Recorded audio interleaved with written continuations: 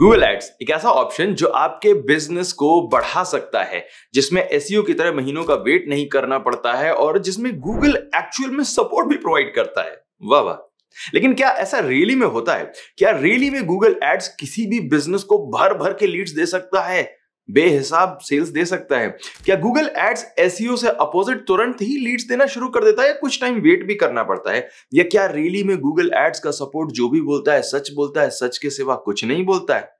Google ads run करना कोई बड़ी बात नहीं है। कुछ क्लिक्स यहाँ करो, कुछ क्लिक्स वहाँ करो और डन बट गूगल एड्स को सही से रन करना स्ट्रेटजी के साथ में रन करना और रिजल्ट्स लेकर आना, ऐसा रन करना, ये एक अलग चीज़ है। ना इससे पहले आप ये सोचें कि भाई, मैं तो एसईओ में अच्छा खासा कर रहा हूँ, मेरी वेबसाइट रैंक हो रही है, मुझे आखिर अचानक से गूगल एड्स को समझने की, सीखने की क्या ज़रूरत है? वेल यू आर रॉन्ग आपका क्लाइंट कभी भी एक चीज़ से सेटिस्फाइड नहीं रहेगा। अगर आप बहुत अच्छा एसईओ कैंपेन कर रहे हैं तो भी हो सकता है किसी दिन आपका क्लाइंट कहे कि भाई एस से तो इतनी लीड्स मिल गई हैं, अब मुझे पीपीसी वाला कैंपेन भी रन करना है। मुझे और ज़्यादा लीड्स चाहिए, मुझे अपने बिज़नेस को स्केल अप करना है। एस जहाँ किसी भी नए बिज़नेस को फ्री में, बिना बजट के ज़्यादा से ज़्यादा लीड्स दिलाने में हेल्प करता है, वहीं गूगल का जो एड्स प्लेटफॉर्म है, वो आपके बिज़नेस को स्केल अप करने में हेल्प करता है। जो एक करोड़ से लेकर दस करोड़ वाली जर्नी है, उसको पूरा करने में हेल्प करता है। तो so, आप अपने क्लाइंट के बिज़नेस को अगर इंप्रूव करना चाहते हैं और चाहते हैं कि वो और ज़्यादा ग्रो करे आपका बिलिंग और ज़्यादा बढ़े तो गूगल एड्स की नॉलेज होना ज़रूरी है। ताकि कल को जब आपका क्लाइंट बोले कि भाई मुझे गूगल एड्स का कैंपेन रन करना है तो आप ये मत बोलो कि भाई ये तो हमें नहीं आता है। पता होना चाहिए कि गूगल एड्स की अपनी लिमिटेशन क्या है गूगल एड्स के बेनिफिट क्या है गूगल एड्स को कैसे रन करना है ताकि आप उस डायरेक्शन में आगे बढ़ सकें। पैसा फेंक तमाशा देख नहीं है गूगल एड्स का प्लेटफॉर्म स्ट्रेटजी लगेगी नॉलेज लगेगी और ट्रबल शूटिंग के लिए पेशेंस भी लगेगा। सो so, आज से हम शुरू करते हैं एक सीरीज़ गूगल एड्स के लिए जिसमें एक एक करके गूगल एड्स को समझेंगे जानेंगे टेस्ट करेंगे धागे खोल के रखेंगे। Hello everyone I am Tiwari from Tiwari dot net और ये है गूगल एड सीरीज़ जहाँ फ़र्स्ट पार्ट में हम गूगल एड्स के एक अनछुए टॉपिक एड रैंक के बारे में बात करने जा रहे हैं।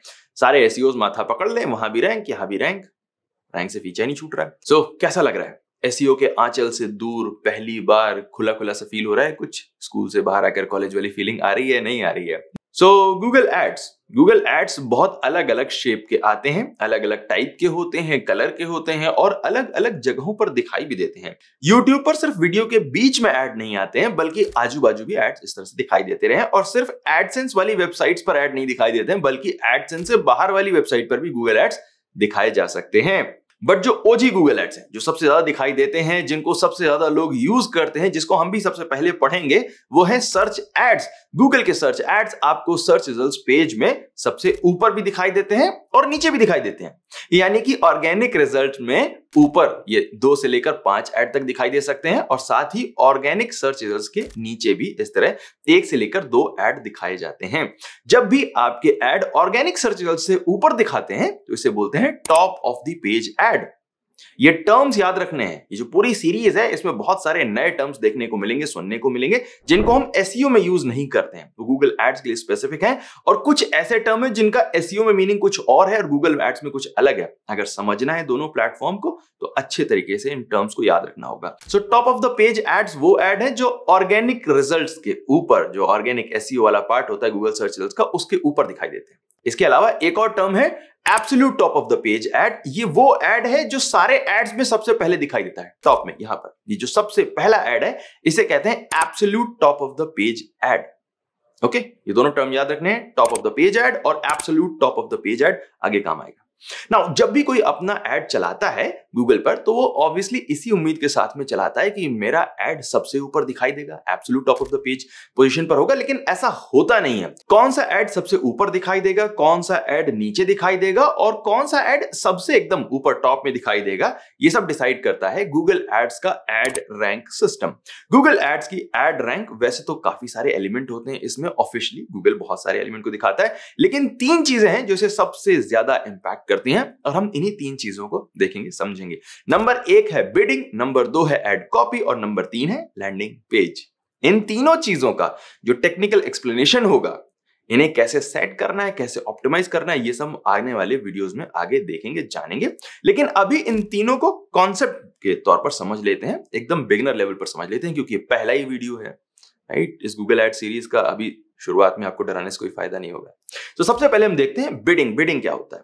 ऐसा समझिए कि हर कीवर्ड पर बहुत सारे लोग अपने ऐड दिखाना चाहते हैं, लेकिन गूगल के पास लिमिटेड स्पॉट है। अगर इस एग्ज़ाम्पल कीवर्ड की सर्च के लिए देखें तो आप यहाँ पर देख सकते हैं कि जो absolute top of the position है, यहाँ पर सिर्फ़ एक ऐड आ सकता है और नीचे वाले जो ऐड है, यहाँ पर भी दो तीन ऐड ही आ सकते हैं। इससे ज़्यादा स्पॉट ही नहीं है। लेकिन इस कीवर्ड के लिए जो एड देना चाहती हैं कंपनीज़ वो 10 बारह भी हो सकती हैं। तो so, फिर आखिर गूगल कैसे डिसाइड करे कि किसका एड दिखाना है किसका एड नहीं दिखाना है? एक तरीका हो सकता है first come first serve basis यानी कि जिसने सबसे पहले नंबर लगाकर अपना एड बुक कर लिया उसी के एड सबसे पहले दिखा ले लेकिन इससे नुकसान है।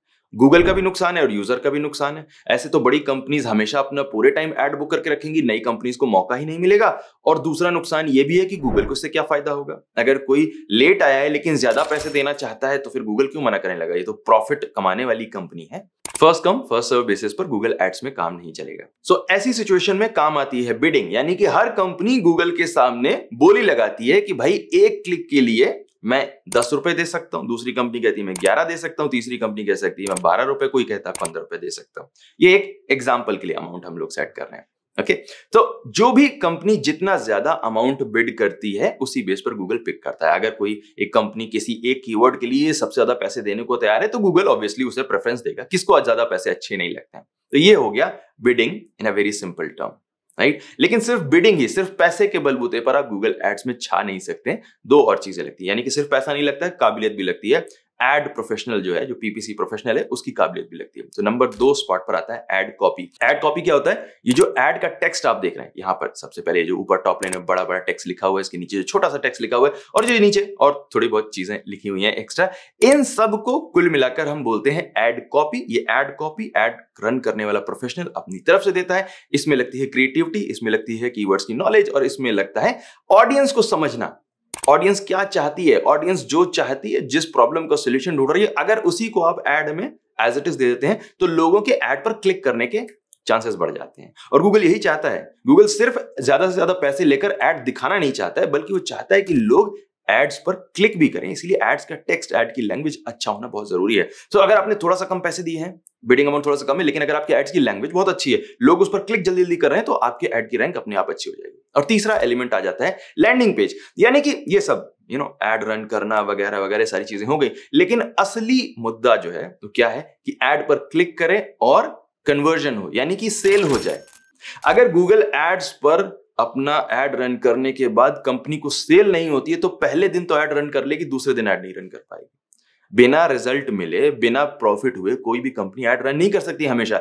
इसीलिए गूगल लैंडिंग पेज को बहुत प्रेफरेंस देता है। अगर आपका लैंडिंग पेज ऑप्टिमाइज है, अगर आपका लैंडिंग पेज अच्छा है, अगर लैंडिंग पेज को देखकर जो सर्च करने वाला पर्सन है, जिसने एड पर क्लिक किया, वो सेटिस्फाई हो जाता है और सेल हो जाती है, वो परचेज कर लेता है प्रोडक्ट को या सर्विस को, या सब्सक्राइब कर लेता है साइन अप कर लेता है, जो भी कराना है, वो अगर कर लिया उसने तो कंपनी हमेशा अपने एड रन करती रहेगी। इसीलिए लैंडिंग पेज की क्वालिटी भी बहुत मैटर करती है। सो so, एक अच्छे एड में ना सिर्फ़ आपका बिडिंग अमाउंट आपके कंपेटर्स के मुकाबले में होना चाहिए एकदम कम बिडिंग अमाउंट से काम नहीं चलेगा बल्कि आपके एड का टेक्स्ट और जो आपका लैंडिंग पेज है उसकी क्वालिटी भी अच्छी होनी चाहिए। आगे आने वाले वीडियोस में ऐड का टेक्स्ट कैसे रखना है बिडिंग अमाउंट कैसे सेट करना है और लैंडिंग पेज की क्वालिटी कैसी होनी चाहिए लैंडिंग पेज अच्छा कैसे बनाए इन सब की प्रैक्टिकल गाइड हम आपको प्रोवाइड करेंगे। अब इस वीडियो को समाप्त करने से पहले एक बार हम क्विकली देख लेते हैं कि गूगल एड रैंक का बेनिफिट क्या है। Google ad rank Google search के यूज़र्स के लिए अच्छी क्वालिटी के एड्स को ऊपर लाने में सर्फेस करने में हेल्प करती है। सिर्फ़ ऐसे एड ही ऊपर नहीं आते, सिर्फ़ ऐसी कंपनीज़ के एड ऊपर नहीं आते जिनके पास वॉलेट तगड़ा होता है, जिनकी क्रेडिट कार्ड की लिमिट ज़्यादा होती है। बल्कि ऐसे एड भी ऊपर आते हैं जहाँ पर जो पीपीसी एक्सपर्ट है, जो पीपीसी कैंपेन रन करने वाला एग्जीक्यूटिव है, बहुत क्रिएटिव है या उसने बहुत अच्छा लैंडिंग पेज बनाया या यूज़र उस लैंडिंग पेज से बहुत सेटिस्फाइड है जल्दी जल्दी प्रोडक्ट परचेज कर लेते हैं। So Google is not looking for quick money Google चाहता है कि अच्छी क्वालिटी के एड अच्छे, ज़्यादा कन्वर्ट करने वाले एड लगातार उनके सर्च रिज़ल्ट पेज पर दिखाई दे जिससे सिर्फ़ एस प्रोफेशनल के ऊपर ही अच्छी क्वालिटी का प्रेशर नहीं होता बल्कि एड्स प्रोफेशनल के ऊपर भी होता है। सो so, अगर आप एस से पीपीसी में कूदना चाहते हैं तो आप सोच रहे हैं कि यार यहाँ कंटेंट बना बना के थक गया हूँ यहाँ पर सिर्फ़ पैसे डालूँगा काम हो जाएगा नहीं इतना आसान नहीं होने वाला है। बट डोंट वरी आगे आने वाले वीडियोस में हम इन सारी प्रॉब्लम्स को भी टैकल करना देखेंगे और देखेंगे कि कैसे आप अच्छे ऐड बना सकते हैं। तो so, मिलते हैं अगले वीडियो में किसी और टॉपिक के साथ में जो गूगल एड्स की ही प्रॉब्लम को सॉल्व करेगा। तब तक के लिए प्रैक्टिस करते रहिए एसईओ की भी प्रैक्टिस करिए और गूगल एड्स की भी प्रैक्टिस करिए। हम अगले वीडियो में गूगल एड्स का अकाउंट बनाना सीखेंगे।